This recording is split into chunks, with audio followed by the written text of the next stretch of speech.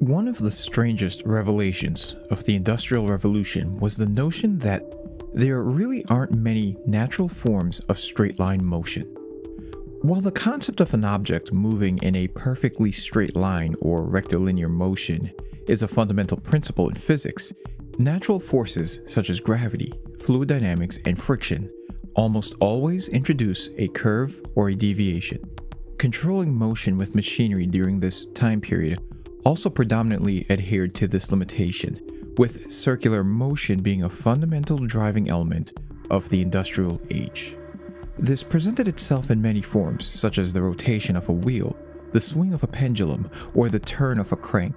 Yet, for engineers and inventors of the 18th and 19th centuries, this prevalence of rotation created a frustrating challenge. In a world based on rotational movement, how could straight line motion be produced using just rigid links and pivoted joints? This is the story of the straight line mechanism, a class of mechanical linkages designed to convert angular motion into perfect or near perfect linear motion.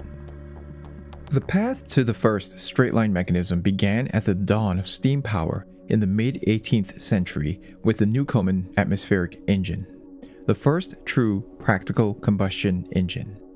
These engines were single acting. Steam was introduced into a cylinder to create a vacuum upon condensation, and the pressure of the atmosphere would then push the piston down, performing the work.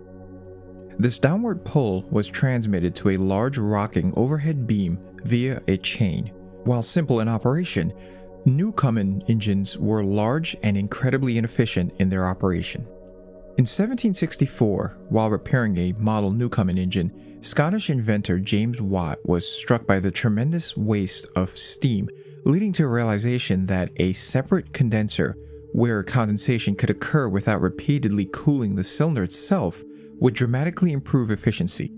This single innovation made the steam engine up to five times more fuel efficient. Despite this improvement, Watt further pursued even more power and efficiency, leading to the development of the double acting engine. In this design improvement, steam enters both sides of the piston alternately, allowing the piston to transmit power through both pushing and pulling, almost doubling the engine's power, but also delivering that power more smoothly, making it ideal for driving rotary machinery. To transmit both pushing and pulling forces, a rigid piston rod was required. But this introduced a fundamental geometric conflict. The piston needed to move in a perfect straight line within its sealed cylinder, while the end of the rocking beam that it was connected moved in a circular arc. This became the primary obstacle standing between Watt's concept and a working double acting engine. By 1784, Watt would be issued a patent for his engine, describing within it the first practical straight line motion mechanism that was derived from the Watts linkage. A Watts linkage is composed of two long outer links of equal length, pivoted to a fixed frame at a distance from each other. The moving ends of these two links are then connected by a shorter central link. As the links move, the ends of the central link are constrained to movement along a circular arc. However, because the fixed pivots are separated, these arcs curve in opposite directions. The midpoint of the central link is therefore simultaneously pulled inward by one arc and pushed outward by the other. These opposing curvatures largely cancel each other out in the center of the mechanism's travel. This path, however, is not a straight line but a figure eight shaped curve that is a lemniscate of Bernoulli, called the Watts curve. Despite being a curve, the central section of this path is remarkably flat and provides an excellent approximation of straight line motion over a considerable distance. Just as James Watt faced the geometric conflict, we often face a similar conflict today. In a world of information overload and manipulative algorithms, it can feel impossible to find the straight line, the objective truth where we're constantly being pulled by opposing narratives. Reconciling these opposing points of view to see the bigger picture is the exact reason I used Ground News. They're a website and app on a mission to give readers an easy, data-driven, objective way to read the news. Every day they pull in thousands of articles from around the world and organize them by story. They also show you the political bias, factuality rating, and even the ownership of each news outlet, giving you crucial context about the information you're consuming. It doesn't try to give you an unbiased source. Instead, it gives you the tools to see and understand the existing biases so you can form a more balanced and independent perspective. And as someone who loves digging into the mechanics of how things work, I really appreciate a tool that helps me understand the mechanics of how news is presented. Let me show you how it works with a real example. Take this recent story about the recent drone incursions into Poland. The first thing I see on the coverage detail is how many sources from across the political spectrum are actually reporting on this and who owns those sources. But here's where it gets powerful. When you compare the headlines, you see how differently the story is framed. Notice the difference in language? Now this source on the right presents a more hawkish tone, sensationalizing the event as a drone invasion and framing Article 4 as a political alarm bell, while sources on the left frames the reporting as more of a concern of escalation, with an emphasis on NATO solidarity towards the matter. Stop getting pulled in different directions and start seeing the whole picture. To subscribe, go to Ground News forward slash Newmind or scan the QR code right here on the screen. You'll get 40% off the unlimited access Vantage plan, the same one that I use. That link is also in my description and pinned comment below. Get a better way to stay informed at ground news forward slash Newmind. Now back to the pursuit of the perfect line. While the Watts linkage was a conceptual breakthrough, it was not the final mechanism used in his engines. The motion it generated needed to be transferred from the midpoint of the Watts linkage to the piston rod itself and required more travel. To achieve this, Watt combined his linkage with a pantograph, a well-known parallelogram linkage used by draftsmen for copying and scaling drawings. This created a more complex but compact 6-bar linkage called the parallel motion linkage. Watt's introduction of the parallel motion linkage did more than just solve an engineering problem. It introduced kinematic synthesis, or the process of designing a mechanism to achieve a specific desired motion to the Industrial Revolution. Over the next century, a multitude of straight line mechanisms would emerge, with some being purely academic in nature, while others becoming critical elements of machinery and vehicle designs. The first evolution of these mechanisms are variants of the Watts linkage configuration known as 4-bar linkages. The Chebyshev linkage, invented by Russian mathematician Pafnutiy Chebyshev, is a 4-bar linkage with a key distinction from Watt's linkage is that the linear motion produced is parallel to the line connecting its two fixed points. Chebyshev linkages became a popular choice for heavy lifting machinery, primarily being used as the horsehead design of level luffing cranes. Variations of a linkage that have the same input-output relationship while being dimensionally dissimilar are common and are known as cognate linkages with the Chebyshev lambda linkage being one such example of this. In modern applications, Chebyshev linkages and its cognates are common to robotics as their path of motion emulates walking, particularly when linked as a kinematic system. The Hoecken linkage is another contemporary cognate of the Chebyshev linkage that was developed by Carl Hoecken in 1926. It's characterized by its higher quality approximate straight line that maintains a nearly constant velocity for a significant portion of its linear travel. This property is highly desirable in applications like conveyor systems or intermittent pushers in manufacturing environments. The Roberts linkage, developed by Welsh pattern maker Richard Roberts, is another 4-bar linkage that specifically addresses the needs of machine tools and manufacturing with a symmetrical design. Much like the Watts linkage, other linkages were designed specifically to address engine designs. The grasshopper linkage, patented by Oliver Evans in 1801 for example, was the foundational element of the grasshopper beam engine. Designed as a modification of the Scott-Russell mechanism, a sliding linkage which translates linear motion through a right angle, the grasshopper linkage replaces the slider with a very long swinging link. The link moves in a circular arc, but because the radius of the arc is so large, a small segment of its path is nearly indistinguishable from a straight line. For decades after Watt's patent, the search for a perfect straight line mechanism continued. The various 4-bar linkages, while clever, were all fundamentally limited. It was eventually understood as a core tenet of kinematics that it is impossible to generate a perfectly straight line using a 4-bar linkage composed solely of revolute joints.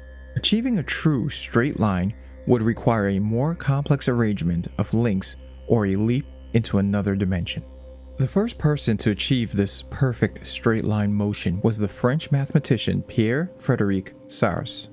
In 1853, he invented a mechanism that produced a mathematically exact straight line using a linkage that operated in three dimensions. Categorized as a spatial linkage, it consists of two parallel plates connected by a series of hinged links. In its simplest form, it uses four links arranged in two perpendicular pairs. As the plates are moved towards or away from each other, the geometry of the hinge constrains one plate to move in a perfect linear path relative to the other. This configuration also had the advantage of being able to achieve relatively large ranges of linear motion.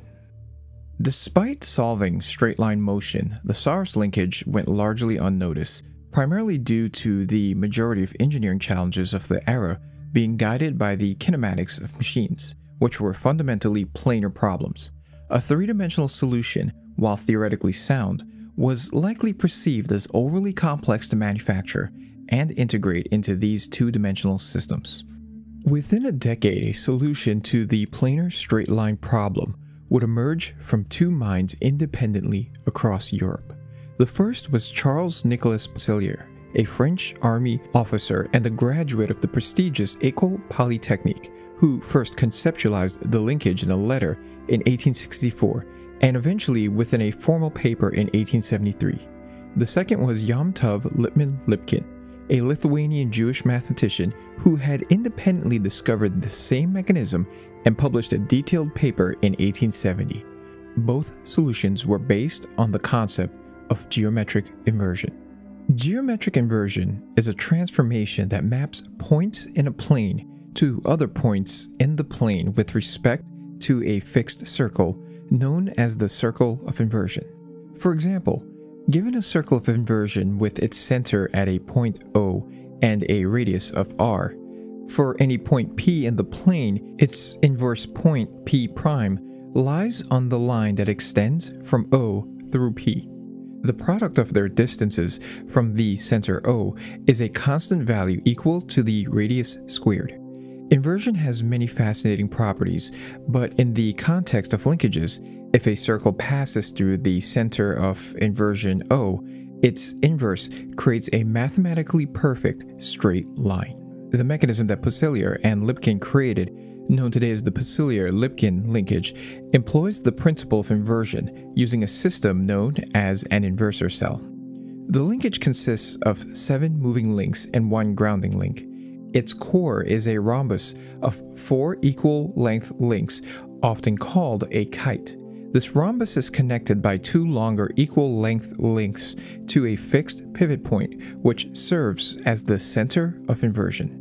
The linkage is constructed in such a way that two of its opposing vertices are always geometric inverses of each other with respect to the fixed pivot.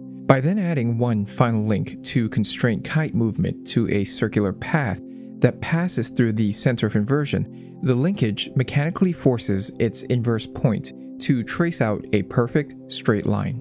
The inversor cell linkage concept was revolutionary at the time as it shifted Industrial Revolution era engineering from practical intuition to a solution formed purely by abstract mathematical proof. Shortly after the introduction of the Peaucellier-Lipkin linkage, new inversor cell configurations would emerge as mathematicians and engineers sought to refine the concept.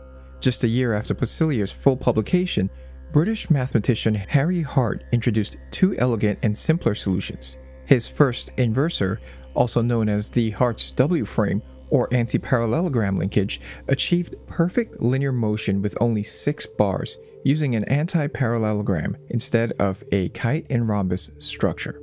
His second design was the Hart's A-frame, a less dimensionally flexible six-bar linkage that had the advantage of possessing linear motion that perpendicularly bisects the line between its fixed base points. In 1875, English mathematician Alfred Kempe devised Kempe's double kite inversors, which uses a cell containing two similar kites to generate a straight line. Working with J.J. Sylvester, Kempe also developed the quadruplanar inversor, a more versatile generalization of Hart's anti-parallelogram linkage that allowed the pivot points to be displaced from the sides of the links. The period also saw the creation of other unique designs. The parallax inversor is another multi-bar mechanism that also operates on the principle of geometric inversion. It consists of a fixed center point, an input point, and an output point, constrained by the relationship of the product of the distances from a fixed center to an input point and output point remaining constant. The Bricard inversor is another exact straight line mechanism notable for its two exact straight line outputs at right angles to each other without requiring a sliding guide. Ironically, despite the breakthroughs in straight line motion during the 1870s, new manufacturing techniques like the planer and the milling machine were becoming widespread. These machines made it far easier to produce straight flat surfaces and guides. A simple sliding joint could now provide the linear motion that had once required a complex linkage. By the turn of the 20th century, straight line mechanisms would find a new broad reaching purpose within automotive suspensions. One of the first applications was for solid axle control. In a solid rear axle, the suspension must allow the axle to move vertically to absorb bumps while simultaneously preventing any lateral motion. The Panhard rod is a popular simple solution for axle control. However, it forces the axle to move in a slight arc as the suspension compresses and extends, shifting the axle sideways. When the Watts linkage is applied in this application, with two horizontal links mounted to the chassis, connected by a central vertical link, the axle is constrained to almost perfect vertical travel. Beyond the direct application of Watts linkage, modern independent suspension systems produce precise control over a wheel's motion, representing a multidimensional evolution of the original straight line problem, using complex linkages to achieve an ideal, though not perfectly linear, travel path. Today's straight line mechanisms have found a new focus within robotics and within MEMS devices, where they form the basis of compliant mechanisms. This shift allows for the creation of single piece, flexible devices that provide the frictionless, high precision motion crucial for applications ranging from robotic surgery and aerospace to microscale manipulation.